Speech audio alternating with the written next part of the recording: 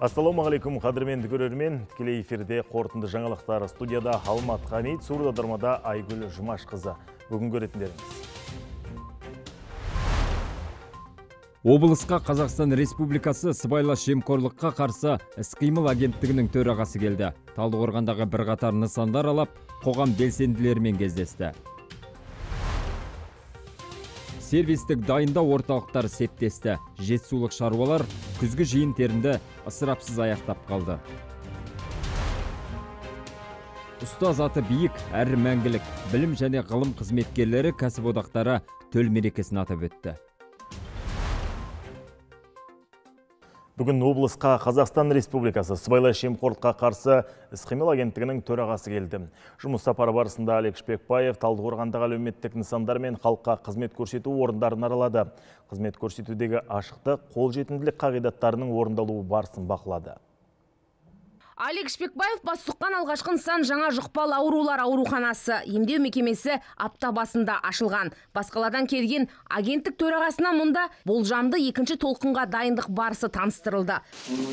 Стандартная двухместная палата, где я же говорил, видите, душ, раковина, плюс еще сигнал СОС.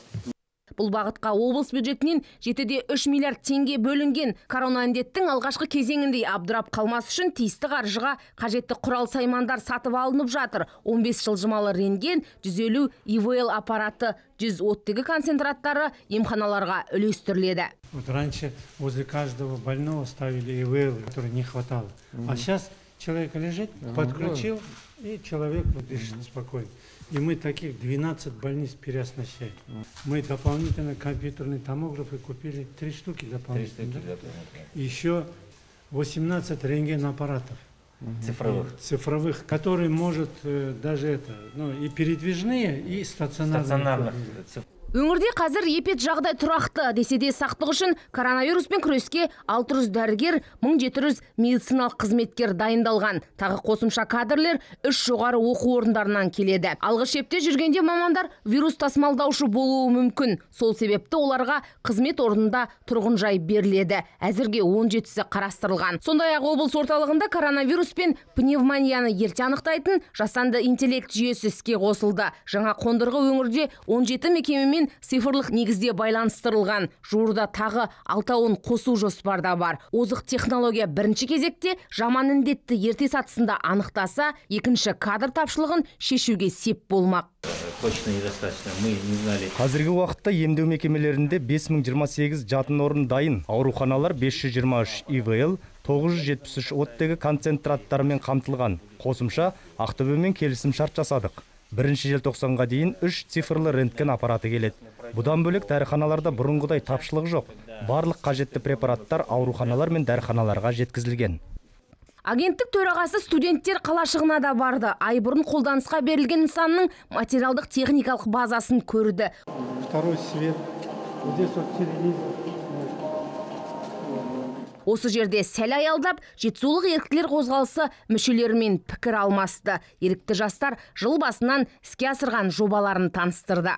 биылғы жыл қасым жомарт кемелұлы тоқаев еріктілер жылы деп сайлап бергені және сол жылды біз қолдану аясында біздің топта 30-ға жуық ерікті жұмыс атқарып жатырмыз қала бойынша әлеуметтік жағдайы төмен отбасыдан шыққан балаларға қазақ тілі орыс тілі ең басты ағылшын тілін үйренуге көмек қолын созудамыз қазіргі таңда санап қарасақ жүзге жуық оқушы біздің арқамызда ағылшын тілін еркін меңгеріп жүр. Аллаға үлкен рахмет.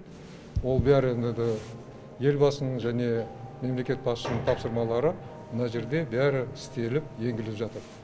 Сіздерге енді сәттілік тілейміз. Оқуларыңызда ең бірінші болуға дегендей қазір сапалы білім алуға керек адал әділетті болуға тиіссіздер. Осыны бәрі күнделікті таратуға керек Кез келген қызмет қарапайым халыққа қолжетімді әрі ашық болуы керек. Елбасы тапсырмасымен бұл мақсатта үш жыл бұрын сервистік әкімдік жобасы іске қосылған. Республикада алғашқы болып Open Space форматын Алматы облысы жүзеге асырды. Бүгінде олардың саны 13-ке жетіп отыр. Облыс орталығындағысын Алик Шпекбаев өзі барып көрді. Бір терезе қағидатымен жұмыс істеп отырған Open Талдықорған таяуда шыны кеңсеге айналмақ. Ұсынысты облыс әкімі шаһар басшысына айтты. Опентрак построим. Одноэтажный такой, хороший. Стеклянный такой, Стеклянный, прозрачный. Прозрачный. Өте жақсы Вчера. Алик сказал, они в этом строят такой. Поэтому надо сейчас вот эти вопросы быстро рассмотреть. Тем более поддержка со стороны камшат мұхамеджан абзал нүсіп қайрат қастырған жетісу арнасы талдықорған Алик Шпекбаев сондай облыстағы азаматтық сектор өкілдері және бизнес қауымдастығымен кездесті. Ашық диалогтық кездесу агенттік төрағасы алдымен ел президентінің ха- хал- халық үніне құлақ асатын мемлекет тұжырымдамасын іске асыру шеңберін таныстырды. Сондай ақ 9 айдың қорытындысын айта кетті. Жетісу адалдық алаңы, адал көмек, адал фарм, сапалы жол, саналы ұрпақ. Өңірде сыбайлас жемқорлықпен күресуге 15 стратегиялық жоспар құрылып қолға алынған, барлығы да сәтімен жүзеге асып жатыр. Сонымен қатар жеңішынан жалғасқан жемқорлықтың жойылуына мемлекеттік қызметтерді цифрландыру да өз септігін тигізуде. Жиында ашқан облыс әкімі агенттік төрағасына өңірде сыбайлас жемқорлыққа қарсы стратегияны іске асыру шеңберінде жемқорлықтың алдын алу және оған қарсы күрес мақсатты түрде жүргізіліп жатқанын баяндады. Коррупционные риски. облыстық әкімдік көрсететін мемлекеттік қызметтің 83 пайызы автоматтандырылған. Жыл соңына дейін біз бұл көрсеткішті 90 пайызға жеткізуді көздеп отырмыз. Жемқорлықты тию бойынша қолға алынған шараның бірі сервистік әкімдіктер. Иә, сервистік әкімдік жобасы облыс аумағында өткен жылдан бері іске асып келеді. Қазір Талдықорған мен 12 аудан орталығында сәтті қызмет көрсетуде. Сонымен қатар Smart City бағдарламасы аясында Open Талдықорған жобасы енгізілген. Бұл мемлекеттік қызметтерді еш кедергісіз ашық алуға мүмкіндік береді. Оған қоса ЕКСК, бюджет участие, и билетирование жобалары енгізілуде. Ал шағын және орта бизнес өкілдеріне қолдау, қызмет көрсету орталықтарымен 13 мыңға жуық қызмет көрсетілген. Бұл өткен жылғыдан 1 мыңға артық. Период пандемии пандемия кезінде шағын және орта бизнеске біздің қолдауымыз айтарлықтай нәтиже берді егер бірнеше жыл бұрын облыстың ішкі өңірлік өнімі 8-10 пайыз болса бүгінгі таңда біз 32 пайызға жеттік. Республикалық көрсеткіштің өзі 28 пайыз шамасында. Мемлекет басшысы бізге 2025 жылға дейін ішкі өнімді 35 пайызға жеткізуді тапсырған. Сондықтан бұл өте жақсы көрсеткіш. Осында отырған бизнес қауымдастық өкілдері еңбегінің жемісі бұл. Өз кезегінде Алик Шпекбаевта бүгінде қоғамда азаматтық сектор мен бизнес қауымдастығының рөлі айтарлықтай екенін айтты. Себебі олардың қатысуынсыз сыбайлас жемқорлықты азайту, жою мүмкін емес деді.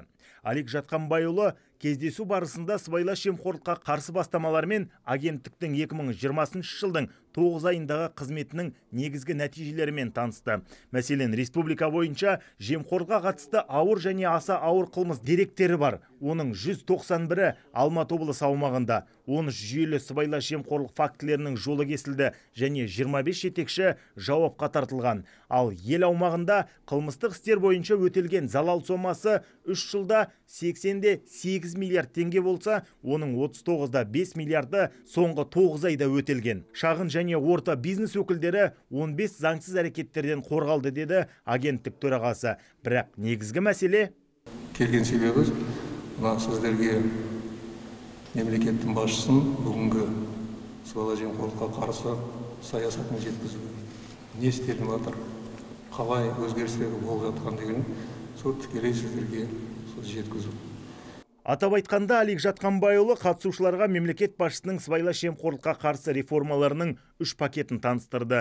Мемлекеттік аппараттың ашықтығы мен айқындығын қамтамасыз етуге бағытталған трансформациялық процестер мен бюджет шығыстарын оңтайландыру жөніндегі алдын алу жұмысының нәтижелерін түсіндірді. Сондай ақ парасаттылық идеологиясын ілгерілету жөніндегі жаңа тәсілдерімен бөлісті. әр мемлекеттің өзінің бір табысты критерий болады әлі формуласы дейді қалай оны тиімділігін көтеру жеткізу дегендей менің ойымша бүгін бізде ол ең біріншіден мына сыбайлас жемқорлықтың алдын алу әлде тиімді оны превенция дейді ол ең біріншіден оның артында не тұр ең біріншіден мына заңнамалардың олқылықтары және мына себептері мен шарттары тәуекелдері және мына әкімшілік кедергілері мен мына бюрократиялық амалдары Жиынға қатысқан азаматтық сектор өкілдері ашық диалог барысында өз тілектерінде білдірді. Мәселен, көлеңкелі экономика, зауыттар мен кәсіпорындарды негізсіз тексеруге тоқтау қойылса дейді. Жемқорлықпен күресудің нәтижесі болу үшін дамыған елдердің тәжірибесімен танысып, және осы күресті талқыға сала отырып, мен парасаттылық мектептер лигасы қауымдастығын құрдым. Әлік Жатқанбайұлы, ондағы ойым осы мектептегі сыбайлас жемқорлықтың тәуекелдерін төмендетуге бағытталған шараларды осы мектептерден бастасақ деген ойым бар. Осындай мемлекеттік органның басшыларымен тікелей сөйлесіп бизнес өзінің проблемасын айта алады. Егер бизнес өзінің проблемасын дұрыс жеткізетін болса ол мемлекеттік органдар бұл, бұл проблеманы дұрыс шешу жолын табады. 10-15 жыл бұрын бұндай проблемалар көп болған жаңағы барьерлар болған иә бизнес ашқан кезде мысалы өзім 15 жыл бұрын бастаған кезде енді бүгінгі күнге салыстырсақ көп проблемалар жойылып кеткен тезірек шешілетін болды Іс-шара барысында айтылған барлық мәселелер бойынша агенттік төрағасы толық түсініктемелер берді. Бірқатар нақты өтініштерді бақылауға алды. Сөз соңында көпті ардан аттамауға шақырды. Мұхтар Әуезов айтқандай, ар жазасы бәрінен ауыр жаза. Ана ең біріншіден қолымыз, арымыз, жүзіміз таза болсын. Сонда бізді тек қана сонда сыйлайды. Сондықтан соған сіздерді бәріңізді шақырамын. Алмат Хамид, Ғабит Қабдырахман, Жетісу телеарнасы, Талдықорған.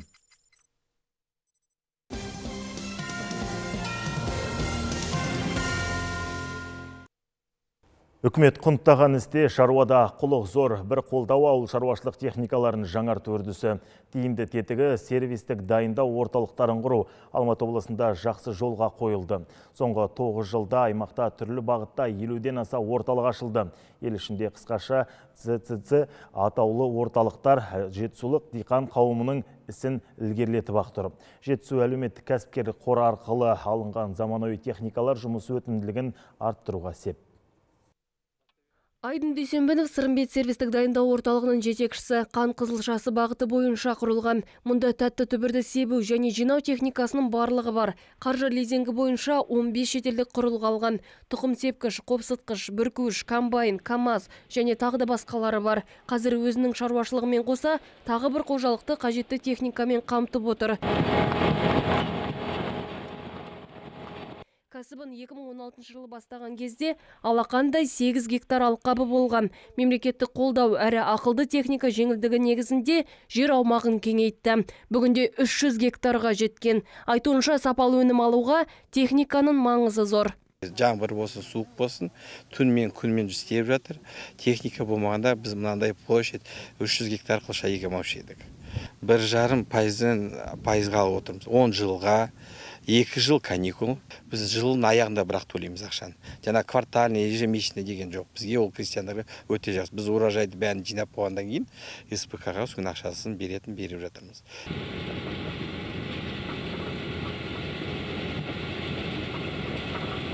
Тәтті түбір жинау науқанында мына неміс техникасының маңызы зор. Комбайн 100 адамның жұмысын атқарады. Қант қызылшасын себеді, жинайды, тиейді, тазалайды. Осы функцияларды өз орындайды. Қымбат тұратын заманауи құрылғы жетісулықтарға жетісу әлеуметтік кәсіпкерлік корпорациясы арқылы қол жетімді. Қазір облыстағы қылша өсірушілер қызығын көріп отыр. Қазірде жалдап адам жалдаймыз нетеміз олар бірақ жаңа артынан қалғанын нелерін жинап нетеміз а бұрынғыдай қолмен теріп қолмен кесіп қолмен теу деген ондай жоқ қазір. Осы комбайнның арқасында бұрын арман болатын бұл комбайн бізге. Телевизордан көреміз. Телевизордан көргенде осынаған жетсе ғой деп ойлайтынбыз. Бұйырса осыған да жеттік Әлеуметтік кәсіпкерлік корпорациясы өңірдегі күріш өсірушілерге де шарапатын тигізді. Қажетті техникасын жеңілдетілген жобамен алып істерін ілгерілетті. Бірі Қаратал күріш сервистік дайындау орталығы. Бұл облыстағы Ақмаржан бойынша құрылған алғашқы шаруашылық. Мұнда заманауи соқалар, сепкіштер, тракторлар, комбайн және тағы да басқа техникалар бар. Аумағы 300 гектар. Диқандардың айтуынша жинау кезеңі аяқталды. Биыл әр гектардан орта есеппен 40 центнер өнім алу көзделген. Наш парк техники состоял из старых. Біздің бұрынғы техникамыз ескі болғандықтан өнімді жинап үлгермейтінбіз. Қазір осы мәселе түбегейлі шешілді. Барлығы жаңа құрылғылар. Сондықтан уақытылы жұмыс аяқталып жатыр. Мұнан бөлек сапалы өнім алуға мүмкіндік беруде. Осындай қарқынмен жер көлемін ұлғайтуды жоспарлап отырмыз.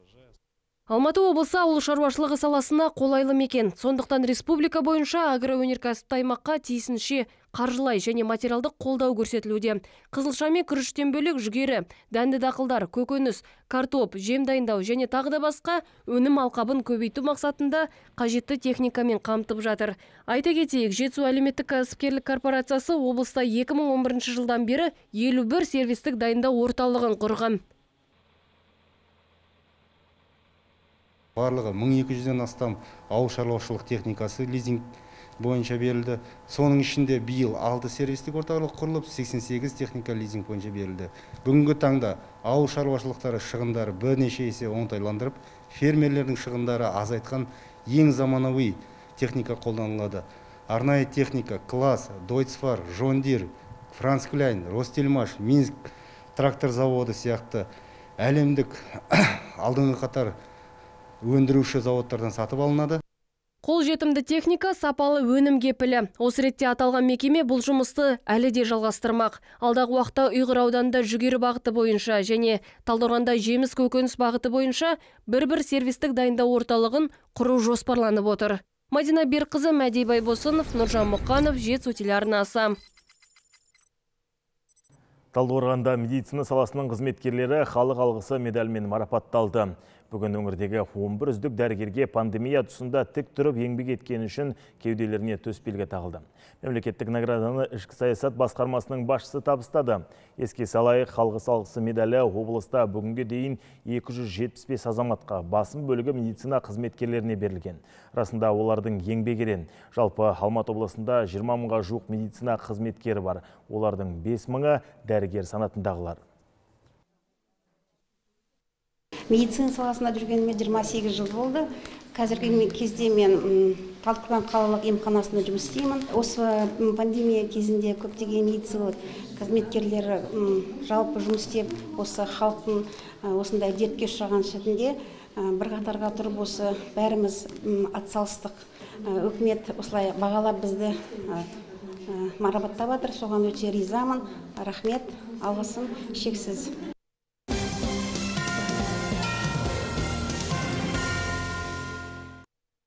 Өңірде жасөспірімдер арасындағы құқық бұзушылық 48 пайызға төмендеген. Мәселен, былтыр 200-ден аса жеткіншек тәртіп бұзса, биыл 110 бала заңға қайшы әрекет еткен. Бұл атқарылған жүйелі жұмыстар нәтижесі. Сондай облыста жыныстық тиіспеушілікке қарсы қол қатын 84 қылмыс орын алып, олардың деңгейі былтырғы жылмен салыстырғанда 9-да 6 пайызға азайған дейді мамандар. Ауқымды жұмыстардың оң нәтижесі жайлы жетісу медиа өткен баспасөз мәслихатында айтылды. Тәртіп сақшылары құқық бұзушылықтың негізгі бөлігі ұрлықпен байланысты екенін айтады. Мұндай келеңсіздікке тап болмас үшін құқық қорғау қызметкерлері ата-аналарға мектеп ұстаздарымен ұдайы байланыс орнатып, жасөспірімнің кімдермен қарым-қатынас жасайтындығын жіті бақылауға кеңес берді. Айта кетейік, полиция департаменті бұл тұрғыда облыстық білім басқармасымен бірігіп жұмыс атқаруда қазір қашықтықтан құқықтық насихат жұмыстарын бәрі осылай жүргізіп отыр ювеналдық полиция инспекторлары каждый өз мектебінде айына бір рет ата аналар комитеттерімен және мектеп әкімшіліктерімен бірлесіп осындай құқықтық насихат жұмыстарын жүргізуде. Үштөбедегі сұмдық оқиға. Анасы екі жастағы баласын өлтіріп мұздатқышқа екі ай бойы сақтаған. 27 жастағы күдікті әйел қазір қамауға алынған. Құзырлы орган сотқа дейінгі тергеп тексеру амалдарын жүргізіп жатыр. Баланың денесін күдікті күдіктінің туысқаны тауыпты. Бірден көршілеріне хабарлап, полиция қызметкерлерін шақыртқан. Бұл оқиға 5 қазан күні болған. Ал баланы әйел 18 шілдеде тұншықтырып өлтіріпті. Қаратал аудандық полиция бөліміне үйлердің бірінде екі жасар баланың мәйіті табылғаны жайлы суық хабар келіп түскен. Сол күні ізі суылмай жергілікті тұрғын 27 жастағы әйел ұсталды. Ол өз баласын өлтіргенін мойындады.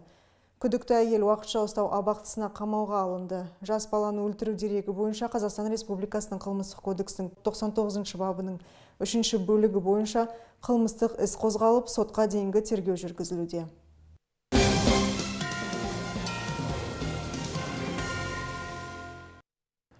Мексикада дельта алапат тропикалық дауылы соқты. Ал американдық Мака Карин әлемдегі ең ұзын аяқ есі атанды. Дубайда өтетін экспо ғимаратының суреті жарияланды. Осы және өзге де әлем жаңалықтары келесі топтамада. Дубайда өтетін экспо ғимараттарының суреті жарияланды. Көрме коронавируске байланысты 2021 жылға шегерілген. Дегенмен, нысанның барлығы болашақ шараға сақадай сай. Үш тақырыптық композицияның орталығы күмбезбен көмкерілген. Мұнда тұрақты даму, мүмкіндіктер және біріккен араб әмірліктерінің ұлттық павильон орналасқан. Көрме алаңына торлы көміртекті талшық порталдары бар үш негізгі кіреберіс кіреді. Әрбір тоннельдің ұзындығы 30 метр, биіктігі 21 метр. Ұйымдастырушылар атқарылған жұмыс көлемін есептеген 210 миллион сағатты құрады. Американдық Макка Карин әлемдегі ең ұзын аяқ иесі атанды. 17 жасар қыз Гиннестің рекордтар кітабына енгізілді. Оның бойы 2 метр 8 сантиметр, ал аяққы бөлігі 1 метр 35 сантиметр. Айтуынша ең қиыны қолайлы көлемде киім сатып алу. Өйткені 46 өлшемді аяқ киімді табу қиын. Сондай-ақ бөлме арасындағы бағаналардан өту де оңай емес көрінеді. Қыз тіпті 2021 жылғы Гиннестің рекордтар кітабына енген. Ерекше бейнесінің арқасында ол TikTok бейне сервисінің аудиториясында да танымал болды. Мен өз аяғым үшін ешқашанда қысылған емеспін. Себебі басқаларға қарағанда менің бойым ұзынырақ. Және де мені маңайымдағы адамдар мен жайлы не ойлайтыны мазаламайтын болды. Орта мектептегі сыныптастарым да мені аяғым үшін мазақ еткен жоқ. Сонымен қатар бойымның арқасында олармен волейбол ойнағанды ұнататынмын Мексикада дельта алапат тропикалық дауылы соқты. Канкун қаласында құйынға төтеп бере алмай жатыр. Ойран салған дауыл 250 мың тұрғынды жарықсыз қалдырды. Сондай-ақ жергілікті билік 40 мың адамды эвакуациялады. Мамандардың ақпарынша екпінді желдің күштілігі үшінші деңгейге көтерілді. Ал жылдамдығы сағатына 177 шақырымға жеткен. Қатты жауын салдарынан өзен көлдер арналарынан тасып, кей аудандарды да су басып қалды. Соңғы түскен ақпарға қарағанда дүлей дауыл Луизиана штатында да тіркелген. Абырой болғанда мұнда адам шығыны болмады. Айта кетсек елде мұндай табиғи апаттар жиі болады. Топтаманы ғаламтор ақпараттары арқылы дайындаған мадина несіпбек жетісу телеарнасы. Оныншы қазан білім және ғылым қызметкерлері кәсіподақтар ұйымының мерекесі. Атаулы күнге орай оқушылар сарайында ұстаз аты биік әрі мәңгілік атты шара өтті. Салтанатты жиында білім және ғылым қызметкерлерінің кәсіподақ ұйымы ағарту саласында табандап тер төккен бірқатар білім беру мекемесінің басшыларына бастауыш кәсіподақ ұйымының төрағасы мен сала ардагерлеріне құрмет көрсетті. Құрмет алғыс грамоталарын табыстап еңбегі сіңген ардагерлерге төсбелгі тақты. Бағалы сыйлықтары да берілді. Ұйымдастырушылардың айтуынша бұл шара ұстаздардың білім беру саласындағы терең еңбегін бағалап, еліміздің дамуына қосып жатқан үлес үшін мәртебесін асқақтатып, беделін көтеруге бағытталған. Бүгінгі күні біздің Алматы облыстық кәсіподақта жеті аудандық, екі қалалық, бір жоғарғы оқу орнының филиалдары бар. Әрі 27 мың 700-дей кәсіподақ мүшелері бар. Біздің басты міндет осы біздің кәсіподақ мүшелерінің мүдделерін қорғау, құқықтарын қорғау. Қазір мына жаңа заң шығып жатыр мұғалім мәртебесі туралы. Сол заң аясында мұғалімдердің мәртебесін көтеріп, соған бәр күшімізді салып отырмыз. Былтырғы оқу жылында жылғы желтоқсан айында қабылданған мұғалім мәртебесі туралы заңға да осы кәсіподақтардың сіңірген еңбегі зор сондықтан да біз кәсіподақтарды әр уақытта қамқорлығын көріп келе жатырмыз. Барша білім саласы қызметкерлерін және кәсіподақ мүшелерін өткен аптада аталып өткен мұғалімдер күні мен бүгінгі аталып жатқан кәсіподақтар күнімен шын жүректен құттықтаймын. Облыстық мақалалар байқауының жүлдегерлері марапатталды. Талдықорғанда Әл-Фарабидің рухани мұрасы және абай шығармашылығындағы діннің рөлі тақырыбында қалам тербеп жеңімпаз болғандар жария етілді. Дәстүрлі байқау журналистер мен түрлі сала мамандар арасында өтті. Облыстық дін істері басқармасының қолдауымен 5 рет ұйымдастырылып отыр. Байқауға бас аяғы 37 үміткер қатысқан үздік деп танылған 5 қатысушы бағалы сыйлықтармен марапатталды өзгелеріне ынталанду сыйлықтары табысталды. Түрлі сала мамандар арасында бірінші орынды Жетісу мемлекеттік университетінің оқытушысы Сайлаухан Қажыбекұлы еленді. Еңбек еленіп есімдері айрықша аталғандар көшбасында Алматы облыстық Жетісу газеті бас редакторының орынбасары Жұматай Әміреев бар. әр жылда әртүрлі тақырыпты қамтыды биылғы тақырып еліміз бойынша руханиятымыздағы қос қазығымыз әл фараби бабамыз бен абай құнанбайұлының шығармашылығына арналып отыр дін істері басқармасы болғандықтан ағай абай шығармасындағы діннің рөлі тақырыбында өзім осы сынға түсіп қазір алқасының шешімімен бірінші орынды иеленіп отырмын оқырманымызға жас ұрпағымызға бір пайдалы дүние қалдырдық қой деп ойлаймын осы мақаланы үш әділқазы алқасы сараптап шықтық енді мақаланың жалпы үлес салмағы көп болғанымен ондағы ілекке аларлық тұшымды ой айтқан мақалалар саны өкінішке орай аздау болды десек болады. Біз сараптай келе жалпы онға жуық мақаланы ақтық мәреге жеткіздік. Абай жаққан бір сәуле сөнбес үшін талпынған талаптанған керемет ой айта білген журналистер әртүрлі сала мамандары болды. Өздеріне лайық бағасын алды деген ойдамыз.